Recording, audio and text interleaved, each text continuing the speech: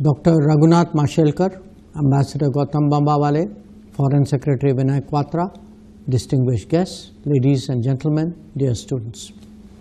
I am truly delighted to address the 8th Asia Economic Dialogue. In the years that have passed, I note that the dialogue has emerged as a prominent forum on geoeconomics.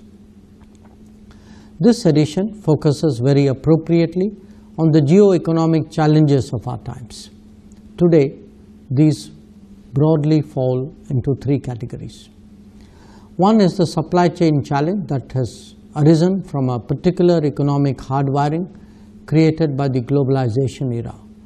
Whether it is finished products, intermediates or components, the world is dangerously dependent on a limited number of suppliers.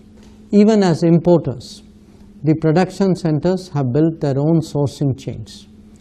How to introduce greater resilience and reliability is today central to de-risking the global economy. All of us need more options and must work to create them. The second is the technology challenge, which grows by the day given our reliance on it for more aspects of our daily life. The digital era has given it an altogether different connotation because it is so intrusive. It is not just our interests that are at stake, but often the most personal of our decisions and choices. Such an era demands more trust and transparency. But in fact, we are seeing the reverse where technology providers are concerned. The third is the challenge of over-concentrations stemming from the nature of globalization. They are heightened by unpredictability and opaqueness. We discovered this most sharply during the COVID period. But from time to time, we are also reminded when market dominance is weaponized. For the global south, this is particularly serious given the extent of its dependence. These three phenomena have come together particularly impactfully when we consider the evolution of critical and emerging technologies. And we all know that this is indeed the era of AI, of EVs, chips, green and clean technologies. What we are confronting is no longer a matter of comparative economic advantage, if it ever was.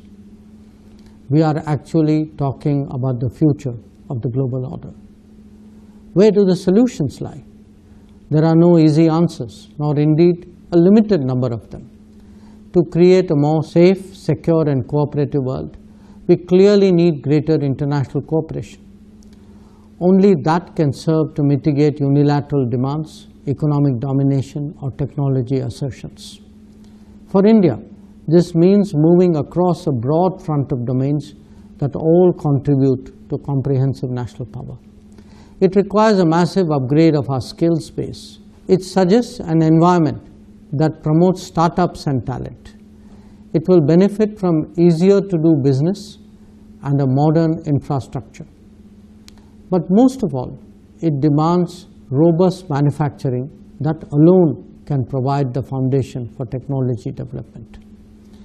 As the most populous country that will be the third largest economy very soon, our goals and ambitions cannot be determined by the goodwill of others. We must build deep national strengths during the Amrit Kal that will drive the transition towards becoming a developed economy and a leading power. This is the vision of the Modi government and our initiatives and programs of the last decade are aimed to this very end.